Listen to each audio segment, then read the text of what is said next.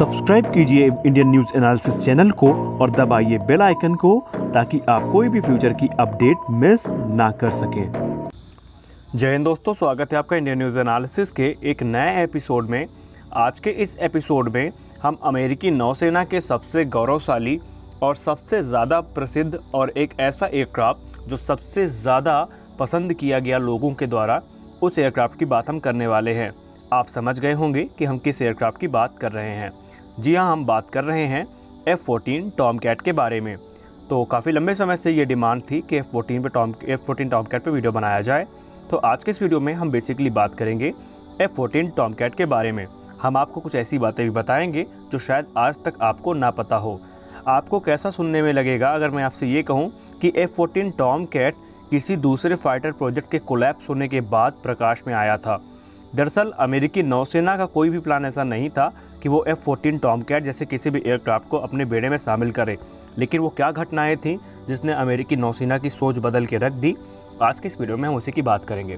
फ़िलहाल आपको basic intro दे दें कि एफ़ फोर्टीन टॉम कैट अमेरिकी नौसेना का एक supersonic twin engine, twin seat, twin tail variable sweep wing fighter aircraft था और ये F triple one B fighter jet programme के कोलैप्स होने के बाद बनाया गया था। और काफ़ी लंबे समय तक ये यूनाइटेड स्टेट की नेवी का एक मेन फाइटर एयरक्राफ्ट था। आपको यहाँ पे बता दें कि इस एयरक्राफ्ट का सबसे ज़्यादा जो यूज़ किया गया, वो ईरान, इराक वॉर में किया गया और वियतनाम युद्ध में और काफ़ी लंबे पैमाने पर इसका यूज़ किया गया। आपको यहाँ पे पता होना चाहिए कि एफ़ फोर्टीन टॉम कैट एक इंटरसेप्टर भी था, एक एयर सुप्योरिटी फाइटर भी था और बाद में नाइन्टीज़ के दशक में इसको मल्टी रोल फाइटर एयरक्राफ्ट में भी कन्वर्ट कर दिया गया और इसका जो मल्टी रोल वेरियंट है, वो अभी भी ईरान की एयरफोर्स में कार्यरत है। इसे यूनाइटेड स्टेट की ग्रुमन एरोस्पेस कॉरपोरेशन ने बनाया था और इसने अपनी पहली उड़ान को 21 दिसंबर 1970 को भरी थी। वहीं अमेरिकी नौसेना में इसको 22 सितंबर 1974 को शामिल किया गया था और 22 सितंबर को 2006 को इसे वहाँ से रिटायर भी कर दिया गया। तो ये थे इसका बेसिक इंट्रो अब आइए बात करते हैं एफ़ फोर्टीन टॉम के बारे में। देखिए एफ़ फोर्टीन टॉम कैट जैसा कि हमने बताया कि 21 दिसंबर को इसने अपनी पहली उड़ान भरी थी 1970 को, और ये अमेरिकी नौसेना का एक मेन फाइटर जेट था, और इसे यूएसएस इंटरप्राइज और यूएसएस निमिट्स में इसको रखा गया था। और ये उस समय अमेरिका के पास जो कार्यरत जहाज़ थे, जैसे कि मैकडोनल्ड डगलस का एफ़ फोर फैंटम टू था, उसको रिप्लेस करने के लिए बनाया गया था। दोस्तों तो कहानी इसकी ये है कि अर्ली फिफ्टीज़ में जब अमेरिकी नौसेना अपने एयरक्राफ्ट कैरियर्स के साथ कहीं पर जाती थी तो उससे सबसे ज़्यादा खतरा होता था वो एंड लॉन्ग रेंज की एंटीसिप मिसाइल्स के साथ सब मरीन्स के साथ और बैटल शिप्स के साथ। तो अब अमेरिकी एयरफोर्स को, अमेरिकी नौसेना को एक ऐसे फाइटर एयरक्राफ्ट की ज़रूरत थी जो उसे इस खतरे से बचा सके। और तभी वहाँ पे जन्म हुआ एक ऐसे कैरियर बेस फाइटर का जो अमेरिकी नौसेना की सारी ज़रूरतों को पूरा कर सके। तो शुरुआत में तो यहाँ पे काफ़ी विवाद था इस विषय को लेकर के, क्योंकि यूएस नेवी ये वो दौर था जब यूएस नेवी और यूएस एयरफोर्स अपने अपने लिए एक प्रतिस्पर्धा में लगे थे। यूएस एयरफोर्स चाहती थी कि उसके लिए उसके हिसाब से जहाज़ बनाए जाएँ। वहीं यूएस ने भी ये चाहती थी कि पहले उसके लिए जहाज़ बनाए जाएँ।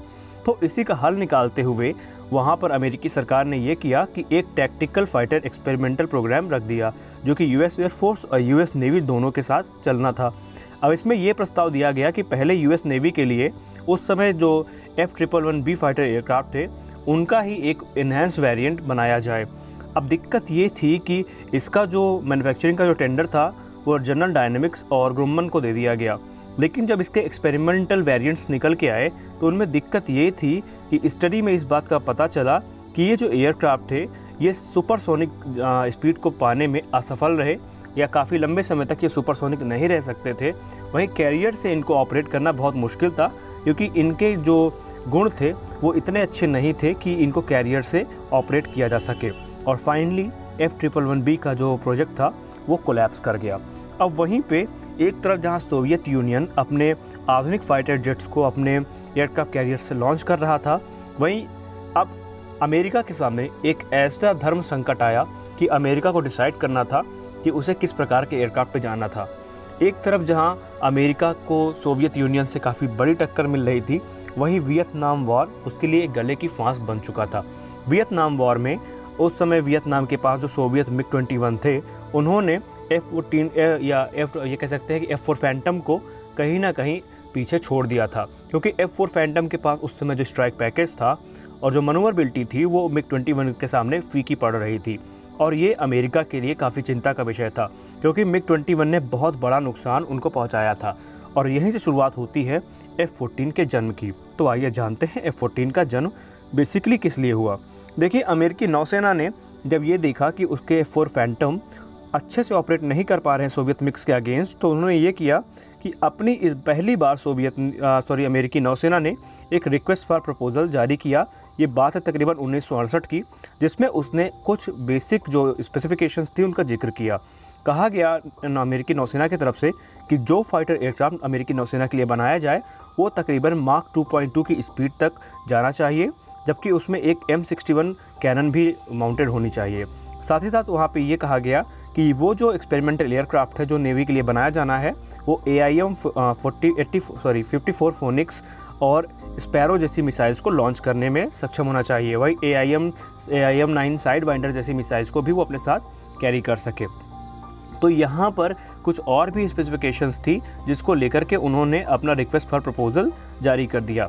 अब इसके जवाब में कई कंपनियाँ सामने आई, जैसे डनल डायनेमिक्स ग्रुमन और तमाम मैकडोनल्ड डगलस आई नॉर्थ अमेरिकन रॉकवेल आई और इसके अलावा भी बोइंग का भी ऐसा सीन था कि उसने भी इसके लिए अप्लाई किया था।